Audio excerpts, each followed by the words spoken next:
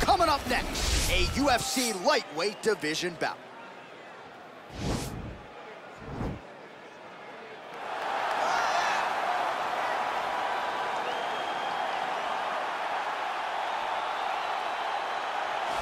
I fear not the man who has practiced 10,000 kicks once, but I fear the man who has practiced one kick 10,000 times.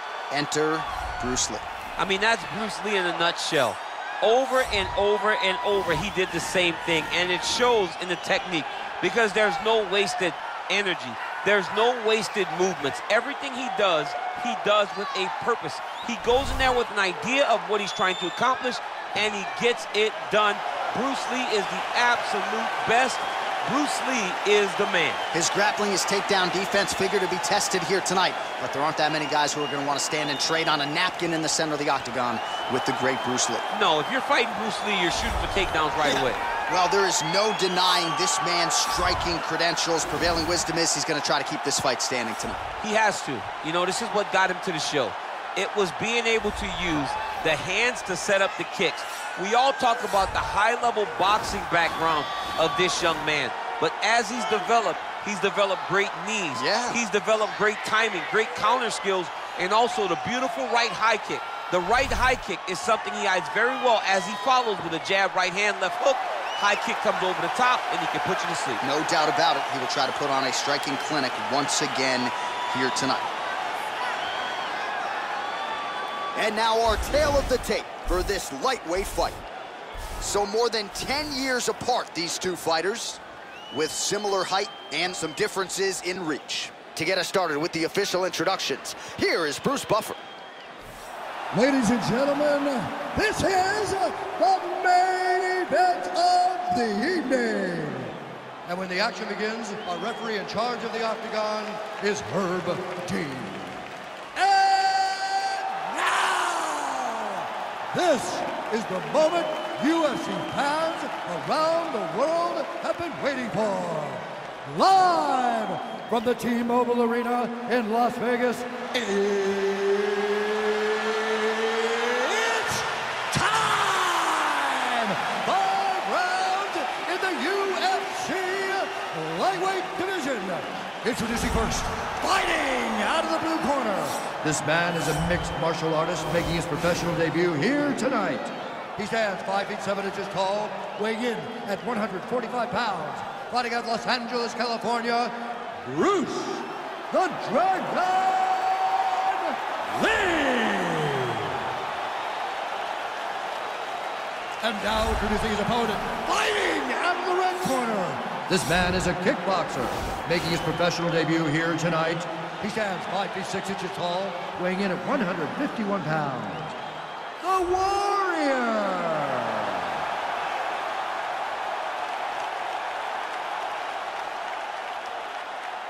You've been given your instructions in the dressing room. Protect yourself at all times. Follow my instructions. You will have a clean fight. Touch gloves. Let's make it official.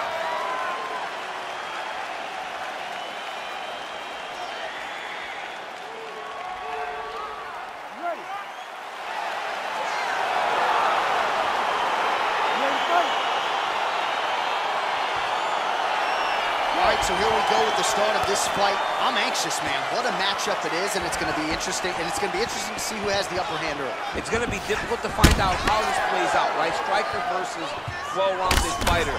Who's going to be the one that's going to control where this fight takes place? Trying to go to the body here, unable to find the target.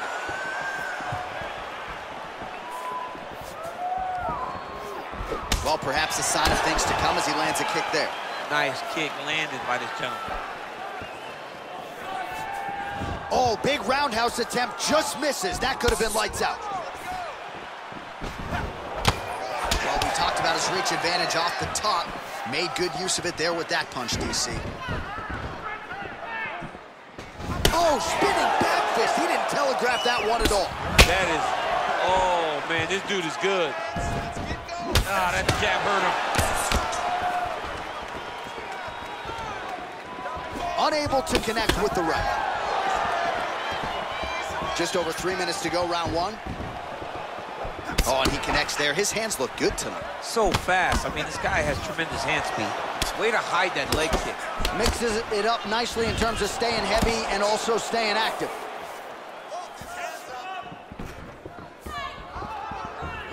Well, a lot of people think he might have the best jab in this division, certainly using it effectively here. I mean, one of the best jabs in the world across all combat sports. The way that it just comes out, it's beautiful. The backside hand is always at the chin. The elbows tucked to the ribs. The jab goes out. The jab comes right back to the face. It's picture-perfect technique, almost like a Taebo clash or something like that. And he landed the right hand there. All right, he'll engage in a single collar tie. Ooh, now he's got the Thai plum, Daniel. If you're on the other side, what are you trying to do to get out of this potentially dangerous position? You got to start digging your shoulder to a side and then trying to shove an underhook. You cannot bend down to try to get out of Muay Thai clinch.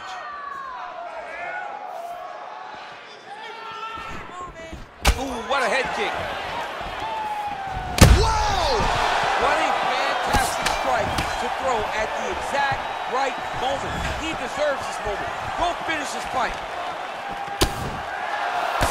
Nice punch, man, over foul. Oh! Oh! Dude's hurt. Serve him up. Go get him. He got him.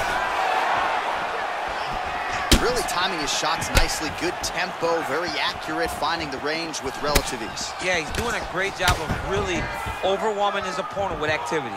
Big kick land.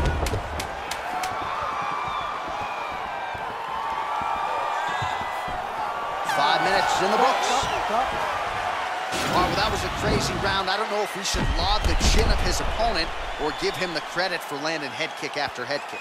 When the head kicks land this often on the video game, it's because player one understands the game much better than player two.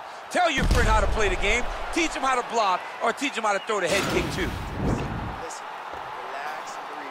You're gonna be okay. It's fine. Been here before. You just got clipped. I need you to go out there. You ready to fight? Ready. Good. Right punches there. He's in trouble. He's hurt bad. Oh, big head kick there.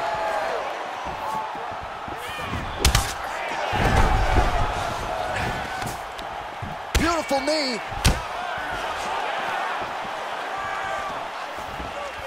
Oh! He's hurt bad. He's hurt bad, John. He's got to press him. He's got to go chase that finish down now. Oh, big left. Oh, right in the mouth. Well, the ground and pound has been on point tonight. Good work here by Lee. Well, he's up, but he is hurting for certain. The finish could come at any time. Looking to land the right just out of range. Well, he's been pretty accurate tonight. He's landed some significant strikes, but his corner's looking for him to mix it up a little bit more and just throw more volume. Because they don't see too much of a threat.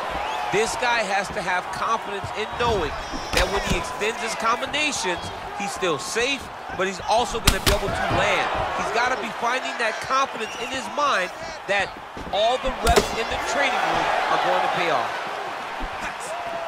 Oh, really making good. Whoa! He needs to start looking to finish now because he's got his opponent hurt very bad.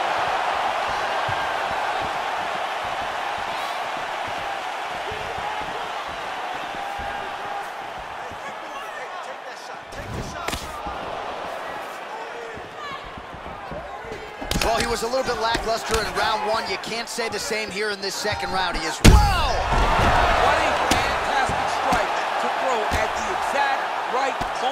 He deserves this moment. Go finish this fight.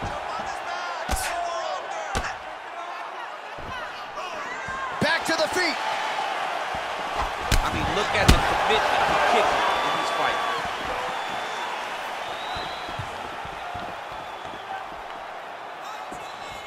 Oh, there's the head kick. It's blocked. And just misses with that big right hand. And they separate big, powerful punch lands. Now he gets back to range.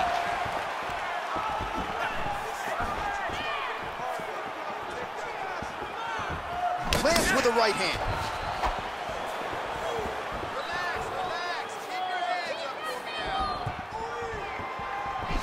Oh! And just like that, the fight is over. He's done, he's done.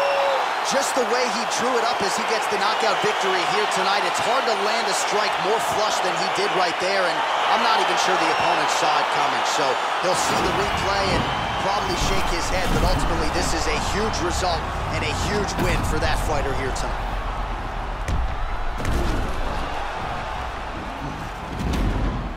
So there he is after a monumental knockout turned in here tonight. That is one they will be talking about for quite some time. Ladies and gentlemen, referee Herb Dean is going to stop this contest at 4 minutes, 31 seconds of round number two. Declaring the winner by knockout, Bruce the Dragon